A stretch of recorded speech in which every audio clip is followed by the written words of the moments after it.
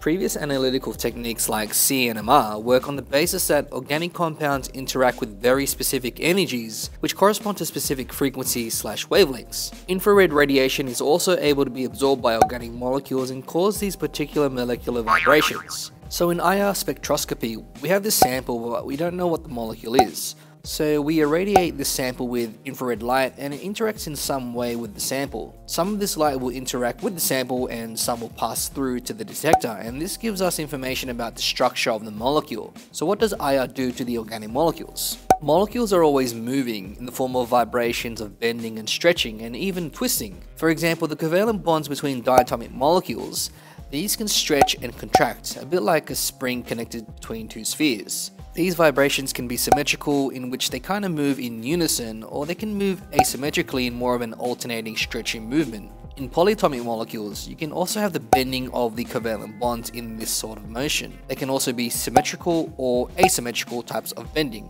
Now these vibrations occur when very particular wavelengths of infrared light is absorbed and depends on the type of functional group present in the compound. So we're talking about things like bond length, bond strength, size of atoms, and even intermolecular bonds as these can influence the strength of your covalent bonds. Therefore, we can get a spectrum for each organic compound. So what does this spectrum look like? The x-axis represents the wave number of infrared given in 1 over centimeters. It's the range of the spectrum that corresponds from here to here. So when a sample is placed in an IR spectrometer, we irradiate it with all the different wavelengths of infrared light and some of these get absorbed by the sample with these numbers corresponding to the different wavelengths. The y-axis is the percentage transmittance that reaches the detector. So in other words, this wave number, which looks like 3800, means that this wave, or this particular wavelength, was not absorbed by the sample and most went straight to the detector, well in relation to how much IR you applied and whatever is going on at this particular wave number, none is going through and not making it into the detector and it's all being absorbed. This means there's a particular functional group in this sample that is absorbing that particular wavelength of IR light. This area on the spectrum that's above a wave number of 1500 is known as a diagnostic region and provides pretty good information about the functional groups in the sample. To the right of this region is known as the fingerprint region and is unique to each organic compound. This can be used to confirm the identity of unknown compounds by comparing its spectra to known standards. But that's beyond the scope of this course, so we'll focus on the diagnostic part.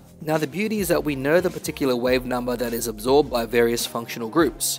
For example, we know that the hydroxyl functional group will absorb in a range of 3000 to 3500. This is known as the OH stretch and according to our spectrum, hardly any of it is making it back to the detector. So this gives us information that compound contains a hydroxyl functional group. This represents a carbonyl stretch with a range of 1670 to about 1780. Once again, hardly any of it is making its way to the detector, so we also know the sample contains a carbonyl functional group. The combination of these two peaks suggests we're dealing with a carboxylic acid. Also, this peak at 1200 is common to most carboxylic acids.